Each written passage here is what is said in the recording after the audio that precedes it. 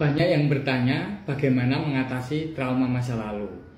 Sebenarnya yang mendefinisikan itu trauma atau bukan itu lebih banyak diri kita. Pola perjalanan hidup manusia dari masa lalu, sekarang, dan masa depan itu sebenarnya pola pembelajaran.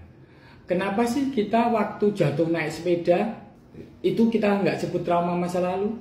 Ketika kita hanya luka-luka ringan, dan kemudian kita diobatin dan sembuh. Bahkan luka-luka itu sekarang masih ada bekasnya di kaki kita misalnya. Itu pola pembelajaran. Jadi kita tuh selalu akan mendapatkan pengalaman negatif. Dan dari pengalaman negatif itu kita akan berusaha mempelajarinya dan di kelak kemudian hari kita bisa menghindarinya atau kita bisa mengatasinya ketika mendapatkan kejadian serupa.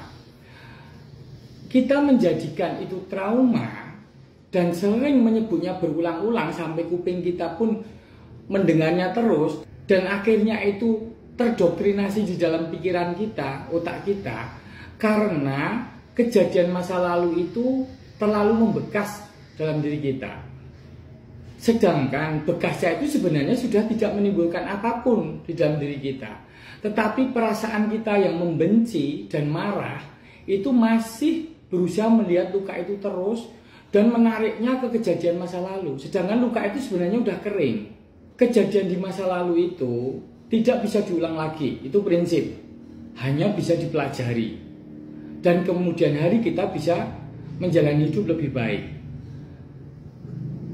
Kebiasaan kita membiarkan kejadian masa lalu itu menyakiti diri kita lagi dan menyakiti terus-menerus sepanjang hidup kita karena memang kita belum bisa memaafkan memang melupakan itu sulit karena otak kita itu secara biologis memang menyimpan memori. Tetapi memaafkan itu dalam tujuan memang melepaskan rasa sakit. Ketika rasa sakit itu sudah lepas dan kita nggak mengingat-ingat lagi rasa sakit yang terjadi di masa lalu itu, kita hanya melihatnya sebagai sebuah luka. Dan pada sisi tertentu itu sebagai keberuntungan kita karena luka itu menjadi bagian dari diri kita dan hari ini kita tetap baik-baik saja. Orang lain di masa lalu bisa menyakiti kita, bisa melecehkan kita, bisa merendahkan harga diri kita, bahkan menyakiti tubuh dan jiwa kita. Itu di masa lalu. Tetapi jikalau kita tidak membiarkan diri kita sendiri menyakiti terus-menerus panjang hari dengan mengingat rasa negatif, rasa sakit, rasa marah itu tiap hari, tentunya kita tidak akan menjadikan itu sebagai trauma, tapi sebagai sebuah pengalaman hidup. Masalahnya, kita membiasakan diri menyakiti diri sendiri, karena dengan menyakiti diri sendiri itu kita merasa bisa mengendalikan hidup kita. Padahal akhirnya malah tidak terkendali karena rasa sakit secara emosional, secara jiwa itu mempengaruhi keseharian kita. Jadi sebenarnya orang-orang di masa lalu itu memang pernah menyakiti kita. Tetapi ketika sekarang masih ada rasa sakit, karena kita yang memang terbiasa menyakiti diri kita sendiri dengan memori tersebut.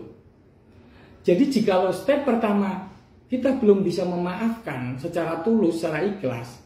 Step kedua, jangan biasakan diri mengingat-ingat masa lalu tersebut. Tentunya dengan aktivitas keseharian yang menyenangkan.